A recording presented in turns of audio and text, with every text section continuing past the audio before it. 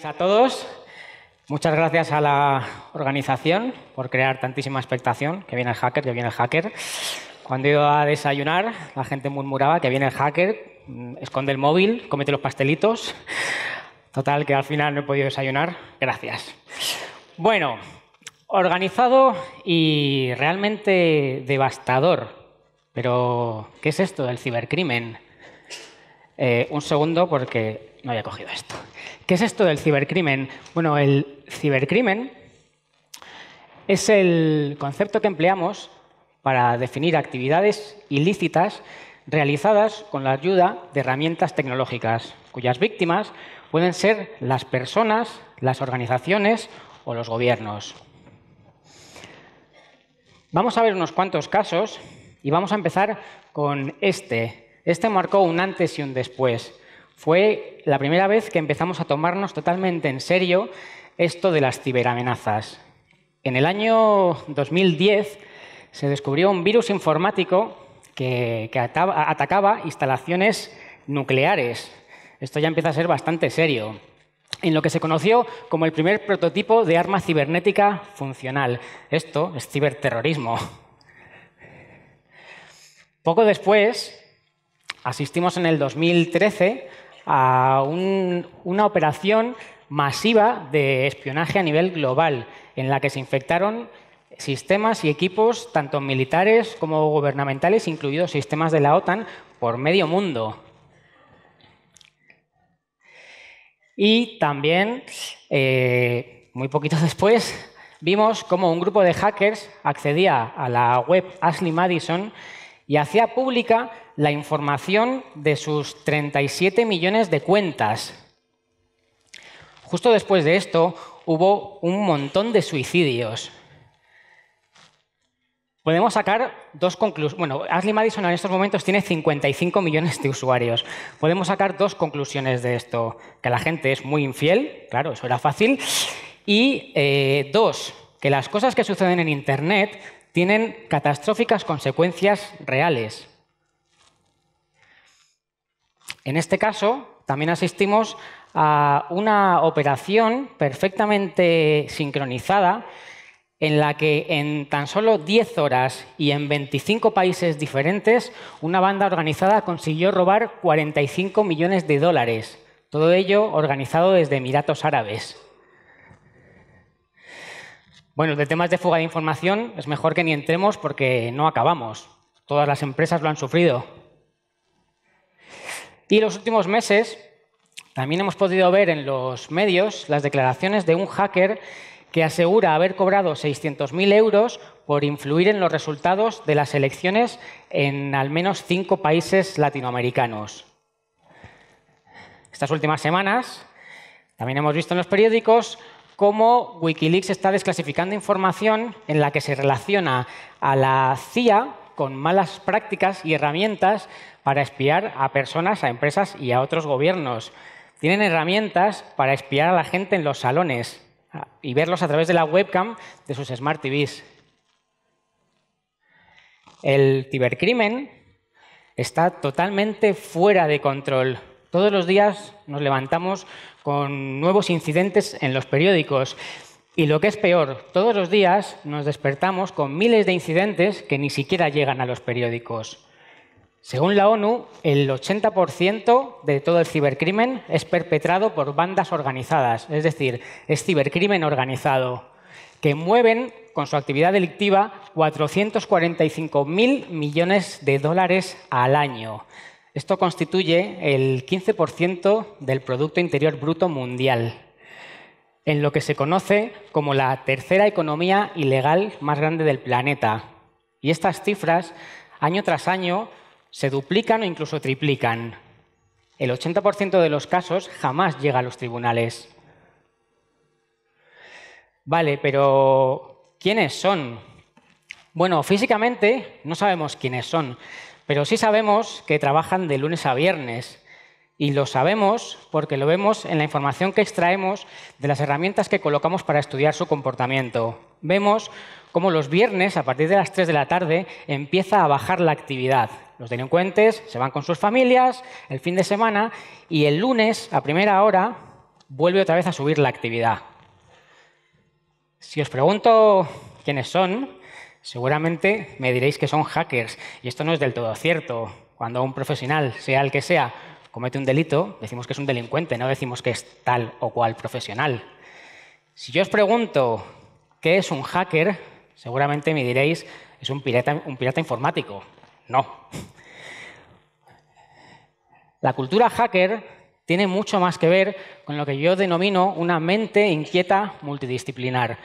Es una cultura que nace en Estados Unidos, es una cultura eminentemente universitaria y que se desarrolla en la década de los 70 principalmente en universidades como Berkeley, el MIT y Caltech.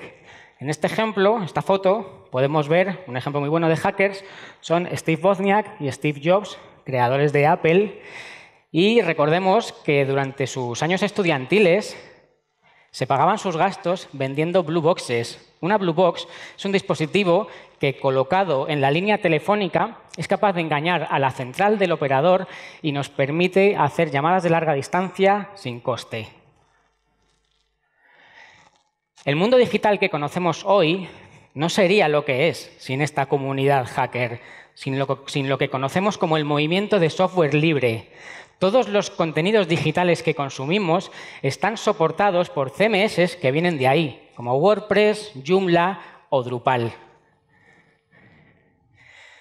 Por supuesto, la comunidad hacker también ha contribuido con eh, herramientas en materia de seguridad. Son las herramientas que hoy en día utilizamos cualquiera de los profesionales que estamos en el sector de la ciberseguridad.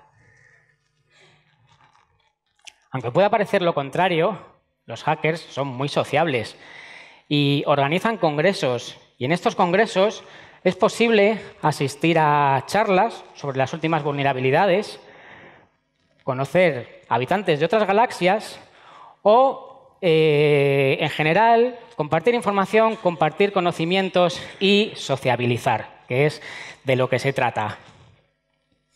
En función de la inclinación delictiva que tengan estos hackers, podemos agruparlos en tres.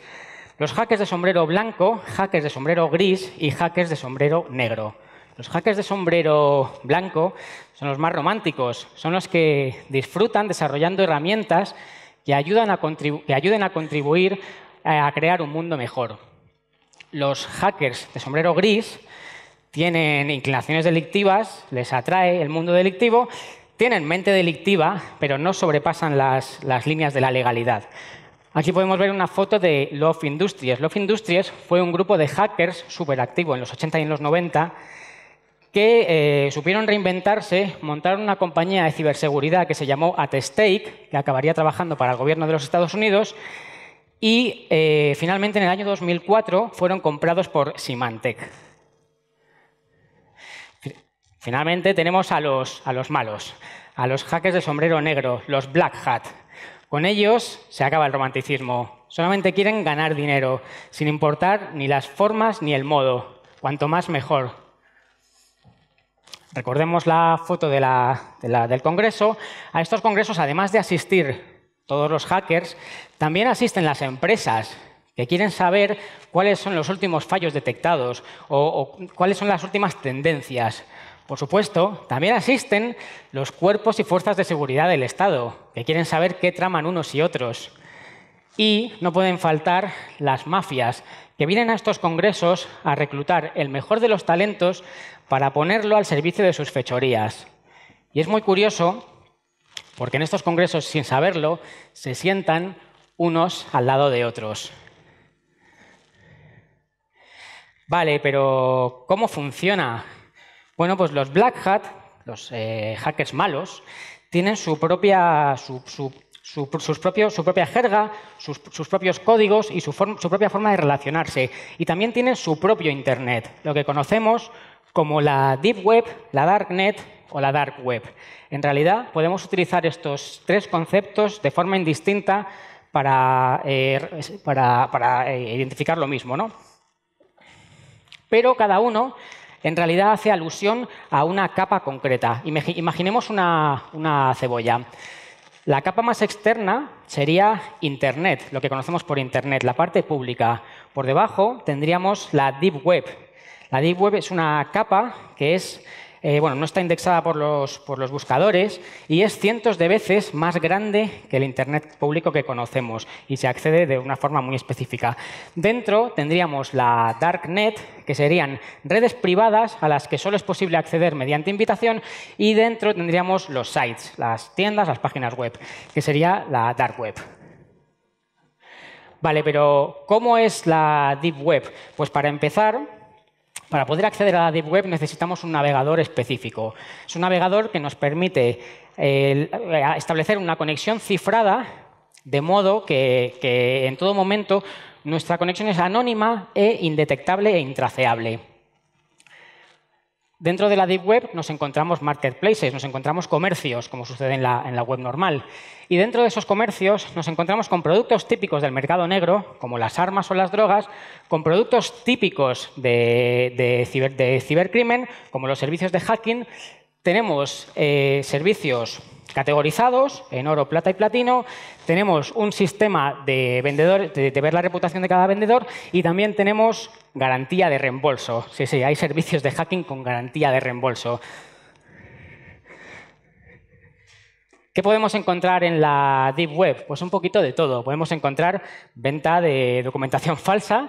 Un pasaporte francés cuesta 2.199 dólares un pack de nueva identidad francesa que incluye pasaporte, DNI, carnet de conducir y una tarjeta SIM de regalo estaría costando 3.099 dólares.